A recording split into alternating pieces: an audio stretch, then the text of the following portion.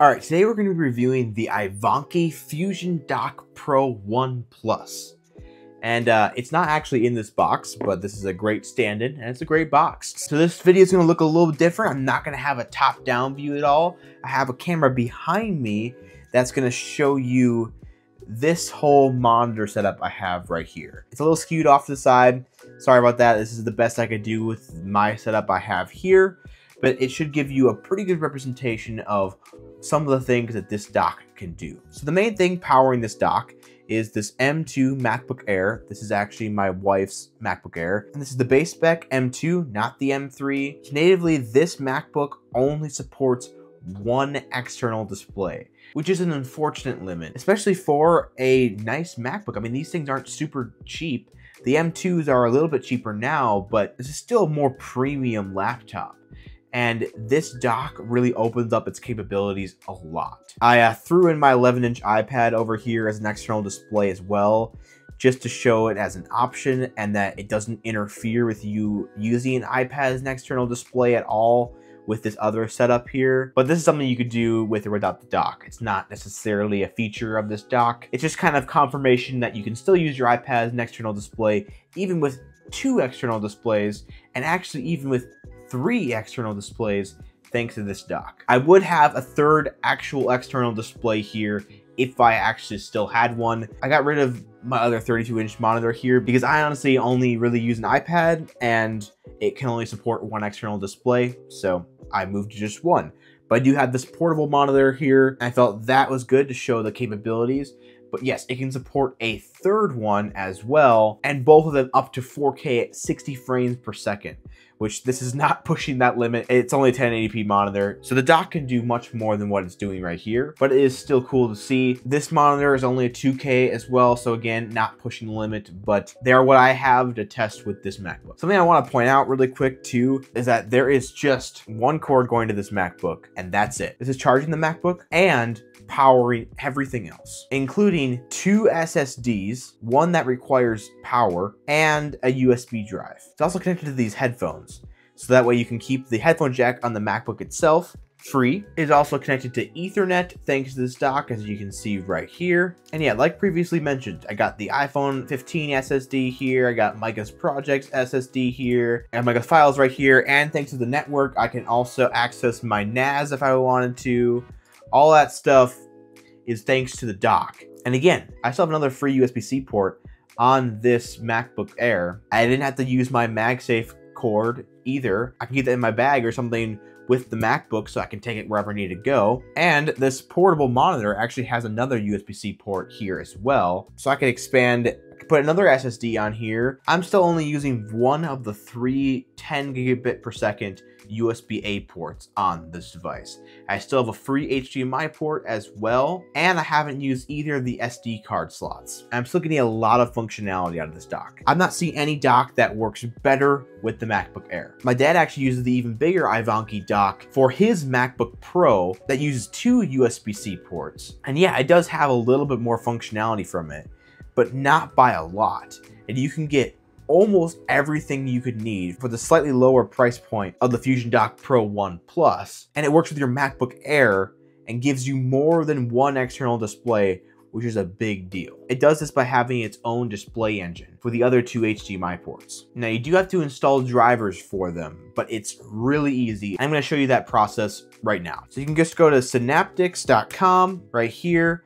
I found it the easiest by just going to support and then display link support and it's going to download display link drivers from the website and it takes you right back to the website but right to the download page. All you need to do is hit the macOS download and install it onto your device and then from settings you just need to go to privacy and security screen and system audio recording and just make sure that Display Link Manager is checked. Once it has permission to do this, it immediately activates the other two HDMI ports and they work just like any other external monitor. If you go into displays here, you even have control over the resolutions, the frame rates, the color profile, all the same features you get with any other external monitor. It's right here, you can arrange it, all of that stuff. It's not like you just get a mirrored version of something or anything like that. You have a full external monitor up to 4K 60 hertz, which is probably more than what most people will even use it for. I think this is by far the best way to get a triple monitor set up for your MacBook Air. Quick note here, this is designed for Mac OS. So while some of these things might work for Windows as well, this is made for Mac OS and optimized for this operating system. And specifically Apple Silicon Macs, so M1 or later. So if you want to turn your MacBook Air into a full desktop setup with multiple monitors, this is the best way to do it. And you can have as many SSDs and USB accessories all plugged in. You can have it charge other devices, all that stuff, all from this dock, Ethernet, everything you'll need right there. There's honestly not a single thing that I think this dock is missing or that I need more of.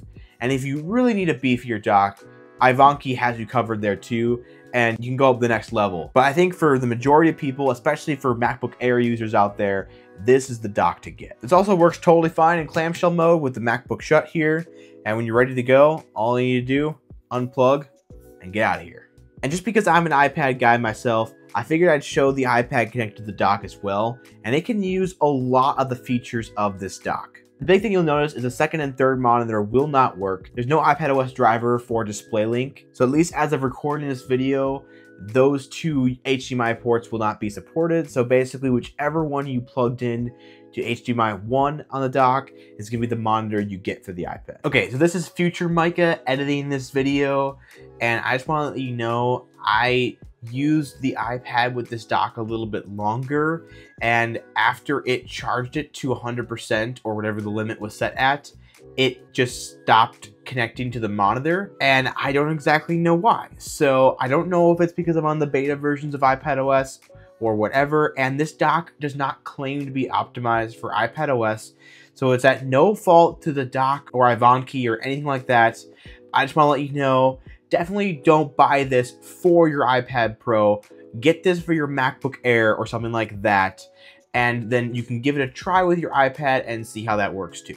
Full disclosure, I was sent this dock from iVANKY. I didn't go out and buy it with my own money, but they're not paying me to say anything about their dock. And my dad had the bigger version of this long before they contacted me and he's been loving it so I could personally attest that this is a reliable brand and what they promise is very cool to see in action, especially for all you MacBook Air users out there. I think this is a perfect solution to have multiple monitors. And now the M3 MacBook Air can kind of support two monitors, but only when it's in clamshell mode, and that's kind of lame. So this way you can still have your MacBook Air monitor itself and still three external monitors. That's pretty awesome. Anyway, guys, thank you for watching. If you enjoyed this video, please give it a like and comment below what you think of a dock like this and if you would use it. And of course, subscribe. Working on trying to get to 5,000 before the end of the summer.